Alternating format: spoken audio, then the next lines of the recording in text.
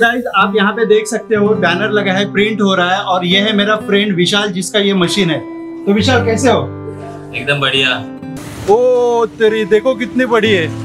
क्या कर रहे हो तुम लोग? यार यहाँ बैठ के। ऐसे ही बैठे। तो खाना वाना खाना है कि नहीं खाना है? अभी शादी से खा के अच्छा शादी में जाके खा के आया फिर तो मज़ा है। चलो फिर मैं चलता हूँ खाने के लिए। ठीक है। पीस आउट सो गाइस तीन बजे जो हम लोग काम पे बैठे थे मैं अभी जस्ट उठ के यहाँ पे जरा दोस्तों के अंदर अपने बैठने के लिए आया हूँ। Hello everyone welcome back to the another vlog मैं हूँ जुनेद देशमुख और आप देख रहे हैं जेडी एंटरटेनमेंट तो कैसे हो दोस्तों? आई होप सब लोग अच्छे होंगे. तो दोस्तों, आज के इस व्लॉग में आपको मेरी आवाज़ कैसे आ रही है, मुझे कमेंट करके ज़रूर बताना, क्योंकि आज मैंने यहाँ पे लगाया है बोया का माइक एम एम वन और आशा है कि आपको बहुत अच्छी खूबसूरत आवाज़ सुनाई देगी. तो आज का शेड्यूल है, अभी बज रहे सुबह के साढ़े आठ और हम लोग निकल रहे हैं अभी ऑफ़िस जाने के लिए. तो आज के इस व्लॉग के अंदर मैं अपने पूरे दिन का रूटीन आपको दिखाने वाला हूँ। तो दोस्तों, आज काफ़ी कोहरा है, आप बाहर देख सकते हैं, काफ़ी ठंड भी पड़ा हुआ है। तो हम लोग क्या करते हैं, अदरक का थोड़ा सा चाय लेते हैं और निकलते हैं ऑफ़िस के लिए। तो बने रहिए आखिर तक। सो गाइज़ फाइनली हम लोग ऑफ़िस पहुँच चुके हैं और अपना ख्याल रखिए दोस्तों, क्योंकि कोरोना अभी फिर से अपना हाथ पाँव पसारने लगा है। और मास्क का नियमित इस्तेमाल करें सैनिटाइजर यूज़ करें और जब भी एक दूसरे के साथ खड़े रहो तो डिस्टेंस पर खड़े रहना। ताकि किसी से किसी को कोई प्रॉब्लम ना हो। तो दोस्तों अब मैं बिज़ी हो जाऊँगा अपने काम के अंदर। दो तीन दिन से मेरे पास काफ़ी सारा बैनर का काम चल रहा है बैनर डिज़ाइनिंग का काम चल रहा है। सो गाइस अभी बजे है दोपहर के डेढ़ और अब भूख लगी है। चलते हैं घर पे खाना खाने के लिए।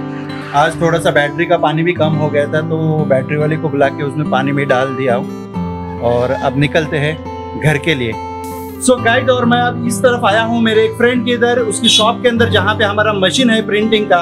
जो मैं बैनर वहाँ पे डिज़ाइन कर रहा था आइए मैं आपको दिखाता हूँ कि बैनर किस तरह से प्रिंट होते हैं। तो चलिए चलते हैं मशीन की तरफ़। गाइड आप यहाँ पे देख सकते हो बैनर लगा है प्रिंट हो रहा है और ये है मेरा फ्रेंड विशाल जिसका ये मशीन है। तो विशाल कैसे हो? एकदम बढ़िया। तो आइए दिखाते हैं आपको क्या प्रोसेस होता है और ये किस तरह से प्रिंट होता है।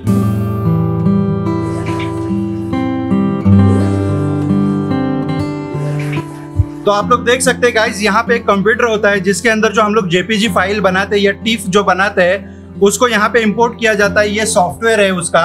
और इस सॉफ्टवेयर के ज़रिए बाद में इस मशीन को कमांड दी जाती है कि यहाँ से कितना फीट के अंदर आपको बैनर छोड़ना है। आप देखेंगे यहाँ पर, ये जो घूम रहा है, इसको हेड बोला जाता है, और इसके अंदर से कलर निकलते हैं। और इस कलर से जो है, यहाँ पे ये बारी बारी कलर छोड़ के इस बैनर को प्रिंट करता है।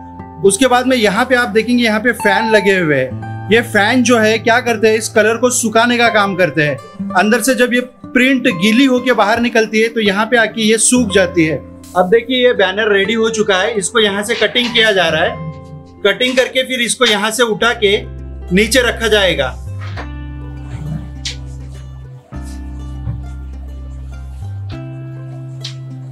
तो दोस्तों, ये हो गया बैनर रेडी अब थोड़ी देर इसको ऐसे रख के सुखाया जाएगा, उसके बाद में इसको रोल करके बाजू में रख दिया जाएगा। अब आप यहाँ पे देखेंगे, यहाँ पे दूसरा कमांड दिया जा रहा है ताकि दूसरा बैनर प्रिंट हो सके। ये देखेंगे आप, यहाँ पे हेड स्टार्ट हो चुका है और दूसरा प्रिंटिंग भी स्टार्ट हो चुका है।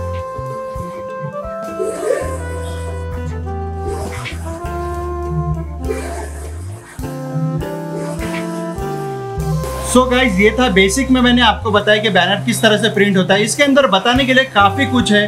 पूरा डिटेल में इसके ऊपर एक डेडिकेटेड मैं एक ब्लॉग बनाऊँगा आगे चलकर। और अब काफ़ी भूख लगी है। चलते हैं घर पर और देखते हैं आज खाने में क्या बना है। सो गाइज़ लगभग घर के आसपास आ गए हैं। यहाँ पे मैं आया तो देखा आलिम के हाथ में कुछ अजीब ही चीज़ मुझे देखी। मैंने पहली बार इतनी बड़ी चीज़ देखी। एक्चुअली ये मूली है। देखो आलिम दिखा। देखो मूली कितनी बड़ी है गाइज़ ओ तेरी देखो कितनी बड़ी है। इतनी बड़ी मैंने पहली बार देखी। मैं बोला भैया आज तो इसको ब्लॉग में दिखाएँगे। तो आलिम कहाँ से लाया इसको? ये पाली से लेके आया हूँ। पाली से लेके आया? हाँ। पाली गया था क्या? हाँ रात में गया था तो खेत में दिखी। हाँ। तो मौसी को बोला हाँ। कि ये मेरे को दो निकाल के। तो उन्होंने निकाल के दिए। अच्छा खरीदा या ऐसे फ्री में हाँ। मिली? नहीं फ्री में मिली। फ्री में मिली? वाह बेहतरीन बेहतरीन। क्या कर रहे हो तुम लोग यार यहाँ बैठ के?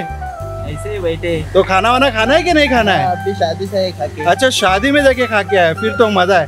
चलो फिर मैं चलता हूँ खाने के लिए। ठीक है। पीस आउट सो दोस्तों फाइनली हम लोग आ गए हैं घर पर और अब चलते हैं घर के अंदर। देखते हैं खाने में क्या बना है। रियली काफ़ी बड़ी मूली थी मैंने देखी वहाँ पे। और मुझे तो बिल्कुल अजीब ही लगा देख के इसके लिए मैं बोला चलो शूट कर लेते और आए हैं अभी हम लोग घर पे। घर में एंट्री हो चुकी है।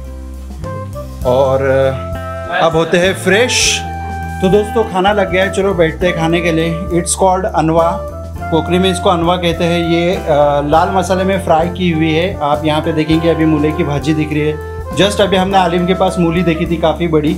बस यहीं भी बनी हुई है। और, ये पता नहीं क्या है। और ये यहाँ पे है दाल।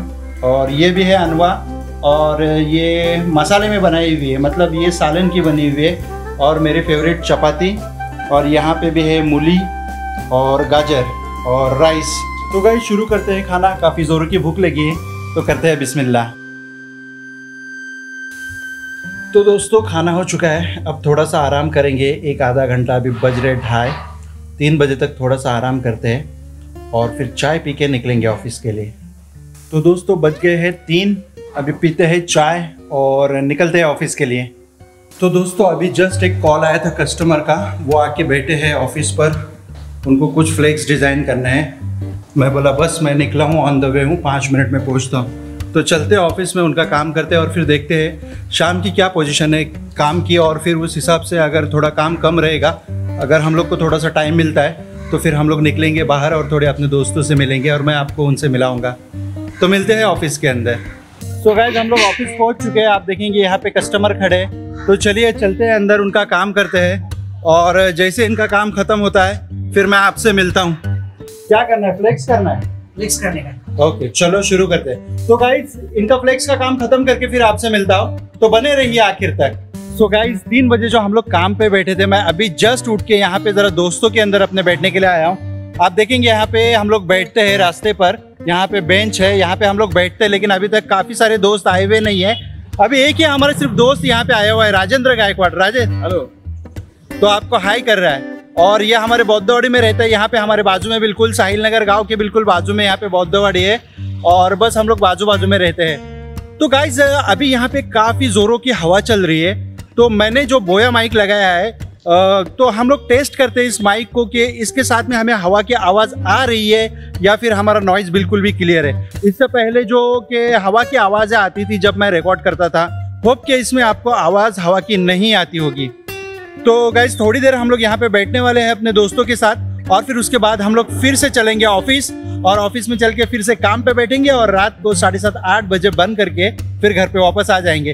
तो बने रहिए आखिर तक। तो गाइज़ अभी मैं आया हूँ घर पे तकरीबन नौ सवा नौ बजे और खाना वाना हो चुका है मेरा। अब इस व्लॉग को हम लोग यहीं पर कंप्लीट करते हैं। तो ये था पूरे दिन का मेरा रूटीन आप लोगों को ये वीडियो कैसी लगी, मुझे कमेंट करके ज़रूर बताना। तो मिलते हैं एक नई वीडियो के साथ में। तब तक के लिए अपना ख्याल रखना। बाय